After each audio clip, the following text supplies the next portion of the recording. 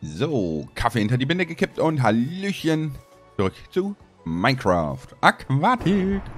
Und während wir darauf warten, dass unsere Eier schlüpfen und das Gewitter mal aufhört, wollten wir hier noch ein bisschen Holz fällen und ein bisschen Bäume pflanzen und so. Dafür müssen wir aber erstmal warten, bis die Setzlinge da sind. Nein! Nein! Ich, mein, mein Stumpi ist zu kurz, ich komme nicht dran. Na, okay. Wir wollen mal keine Witze machen über Menschen, die äh, körperlich eingeschränkt sind, ne? So, mal gerade was essen. Ich weiß, da kommt ein Creeper, aber wir können schnell was essen. Noch bis am Wasser. Und bleibt auch da. Wow, nicht, weißt nicht, nicht mal die Fische direkt daneben hat es irgendwie beeindruckt. Bester Creeper von Welt. Äh, nein. Dahin. Ja, ist doch gut jetzt. Boah, ist das laut.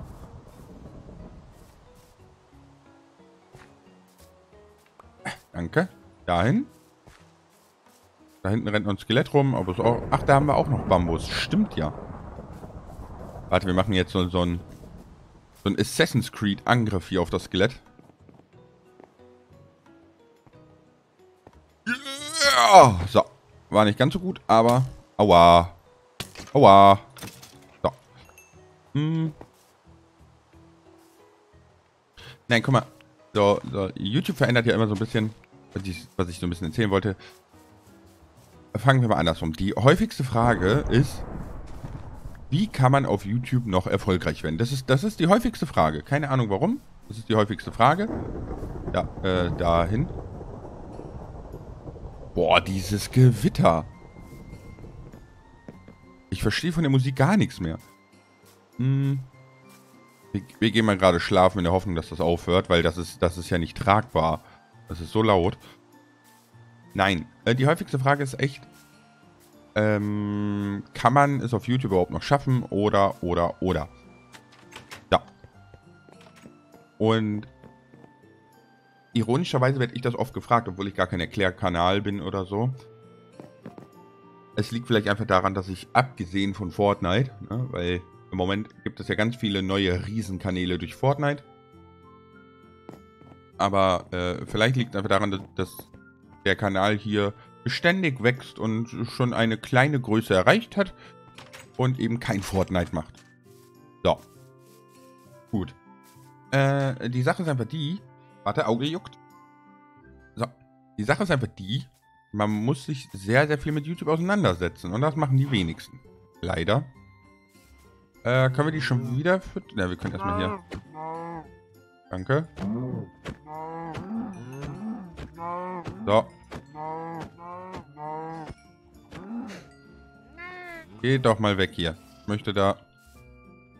Ja, da machen wir es so rum, warte. Ja, auch doch kein Obsidian. Bin da kaputt. Nehmen wir gerade einmal Erde machen gerade so, weil die hängen immer an der, an der Eingangstür und dann kommt man da nicht rein, ohne dass sie abhauen.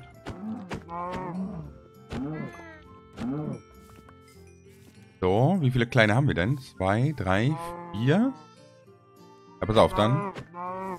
Du noch? Das war's. Hier, komm, geh mal weg. Kleiner. Kleiner. So. Oh, pff. Geschafft.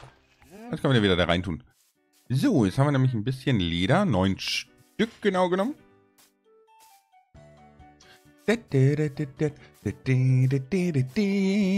Nein, aber man muss sich... Also man muss sich halt so ein bisschen überlegen... YouTube ist ja nichts anderes wie ein... Ja, Unternehmen. Letzten Endes ein Unternehmen. Und ein Unternehmen will was? Und ein Unternehmen will Geld machen. Klar, logisch. So, wir brauchen viel mehr Bambus. Also viel mehr Zuckerrohr. Hatten wir nicht irgendwo schon Zuckerrohr gebunkert? Wir gucken mal gerade. Also wenn da hinten in der Müllkiste, aber... Nö. Nö, aber Setzlinge? Nö. Hier ist sonst nichts. Okay. Gut, da müssen wir mal ein bisschen Zuckerrohr anpflanzen. Hm, YouTube ist halt ein Unternehmen. Ne? Und YouTube will natürlich auch irgendwie Geld verdienen und YouTube hat auch harte Konkurrenz. Und zu dieser Konkurrenz zählt unter anderem vor allem auch Netflix, Amazon Prime und diese ganzen Video-Streaming-Dienste. Weil letzten Endes ist YouTube eine Streaming-Plattform. Ne? Klar. Erstmal logisch. Nur mit dem Unterschied, dass da Gott und die Welt Videos machen kann. Entschuldigung, du gehörst hier nicht hin. Nur mit dem Unterschied, dass da alles und jeder Videos machen kann. Das ist der große Unterschied. Das geht bei Netflix oder so nicht. Ist ja auch nicht schlimm. Aber, das heißt, YouTube muss einen Weg herausfinden, zu erkennen, was ist gewünscht und was nicht. Ja, so.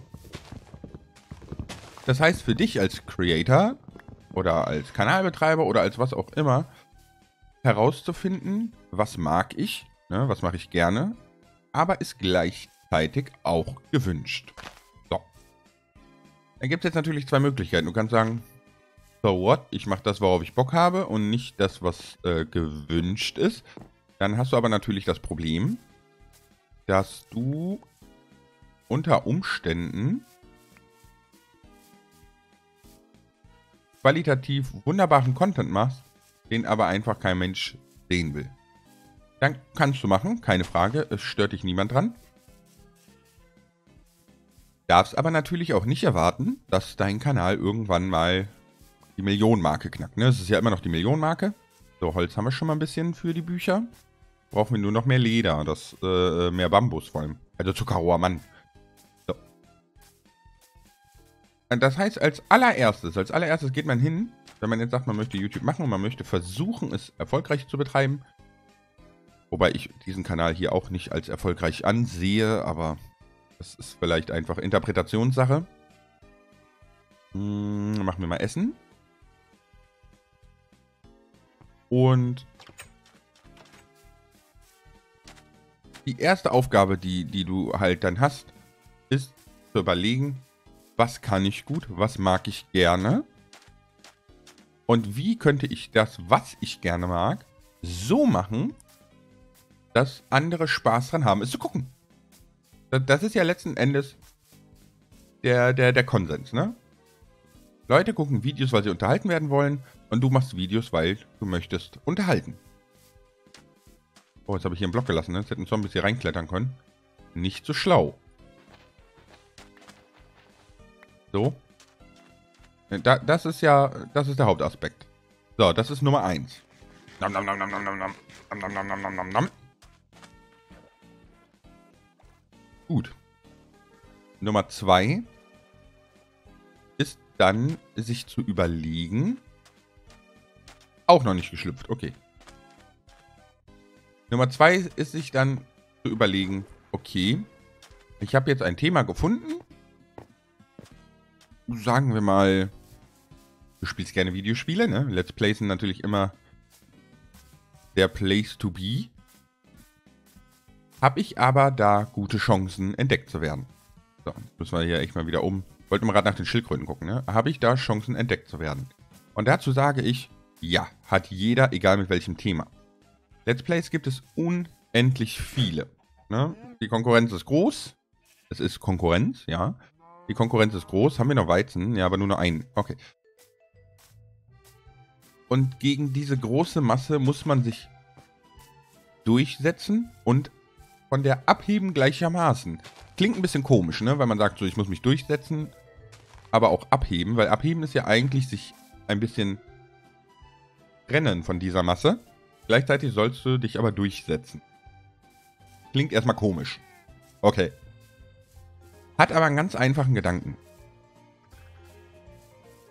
Wir müssen mal dieses Loch hier schließen. Wir müssen unbedingt mal Schaufel machen und dieses Loch hier schließen und das irgendwie umverlagern und hier ein paar Gehwege hinmachen. Und das müssen wir auch noch fertig machen. Oh mein Gott, wir haben so viel zu tun.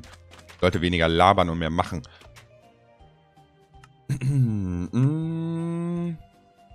Zack. So. Haben wir das schon mal? Hier war auch noch Holzkram drin, den wir gerade rüberwerfen können, ne? Aber Sandkram war hier noch drin. Da, da, da. So. Die Sache ist jetzt die, viele denken dann so, oh mein Gott, ich soll das Rad neu erfinden oder ich soll, keine Ahnung, nee, Sand war hier, ne? So. Oder ich soll vielleicht irgendwie versuchen, alles anders und alles neu zu machen. Nein, darum geht es nicht. Das ist ja auch das, was, was viele falsch interpretieren, ne? Mit Lars, das hast du hier geklaut und Lars, das hast du da geklaut. Das ist, das ist vollkommener Mumpitz. Ne, da oben. es wolle. Das ist vollkommener Mumpitz, denn Entwicklung entsteht immer durch das Nehmen von bereits Bestehendem und das Abwandeln. Ne? So. Weil, wenn, wenn wir es so sehen, dass wir sagen, okay, ähm, man darf nur Neues nehmen, ne? also man darf nur wirklich das, was neu ist, nehmen. Der Rest wäre ja geklaut, in Anführungszeichen. Dann sage ich dir gleich, viel Spaß. Warte, wir brauchen noch eine Schaufel. Viel Spaß, das wird nämlich gar nicht möglich sein. Wenn du nicht gerade das Jahrtausend Genius bist, wird das nicht möglich sein. Denn so etwas komplett Neues fällt nicht, äh, kannst du dir nicht ausdenken, das fällt vom Himmel. Das, das ist einfach... Wie kriege ich denn hier wieder alle Items rein? Ich will hier... So, ne? Ich glaube, so ist das. Äh. Ja, gut, das hätte so jetzt jetzt auch getan. Ich will ja eine Schaufel machen. Zack. Und zack. Wunderbärchen. So, es ist halt einfach so, dass du dir gar nicht selber was Neues einfallen lassen kannst. Das geht nicht. Dein Gehirn macht das nicht mit. Weil dein Gehirn kann immer nur Verbindungen ziehen zu bereits Bekanntem. So, wo war Dirt da, ne? Zu dir bereits Bekanntem. Das heißt, dein Gehirn versucht immer... Ah, kommt immer gerade den Knochen rein. Dein Gehirn versucht immer, äh, was auch immer du dir ausdenkst, anhand von bereits Bekanntem abzubilden. Ja, das heißt, es ist einfach schier unmöglich, dir was komplett Neues ausdenken zu wollen. Es ist, hängt immer in irgendeiner Form mit etwas zusammen, was bereits existiert. Ja? So. Und genau so musst du auch an YouTube rangehen. Ne? Nimm man, man nennt das im Übrigen Benchmarking. Ne? Nimm bereits bekannte Dinge, guck sie dir an, guck, welche funktionieren. Guck, welche funktionieren und guck auch realistisch, welche funktionieren. Ne? Die meisten nehmen ja immer Gronk so als Paradebeispiel. Wenn wir aber jetzt mal die Kanalstatistiken von Gronk nehmen und die vergleichen mit anderen Kanälen, dann ist auffällig, dass Gronk sehr stabil ist. Ne? Also der Kanal ist sehr stabil, die Views sind sehr stabil, ist alles okay für den Herrn Range. Aber aus der Sicht der Effektivität und aus der Sicht äh, der, der heutigen anderen YouTuber und anderen Kanäle, mit denen man ihn dann vergleichen müsste, zeigt doch, dass ähm, der Kanal nicht schlecht ist, aber noch lange nicht das Paradebeispiel gibt Kanäle, die da weitaus besser performen, die da weitaus besser funktionieren. Einfach, weil sie sich der Zeit anpassen. So. Und da man immer Gronk als Paradebeispiel nimmt, muss man auch einfach sagen, Gronk versucht sich nur bedingt der Zeit anzupassen, weil er ist ein klassischer Let's Player. Ne? So. Und er möchte auch dieses klassische Let's Playen beibehalten. Und das hängt mit einem Punkt zusammen, zu dem wir dann ein bisschen später kommen. Nur zur Erklärung, ne? Also nicht denken, dass wir das irgendwie so abpitchen. So. Au. Ja, sehr geil. Sehr, sehr geil. Hm. So. Und so. Und dann müsste da noch eine Treppe, da noch eine Treppe, da noch eine Treppe rein. Dann sieht der Überhang auch schon viel, viel besser aus. Gut. Aber ich würde sagen, wir machen für diese Folge Schluss und sehen uns in der nächsten Folge wieder. Dann quatschen wir ein bisschen weiter über YouTube-Kanäle, Statistiken, wie funktioniert was und so weiter. Aber bis dahin vielen lieben Dank fürs dabei gewesen sein und äh, ciao mit ciao.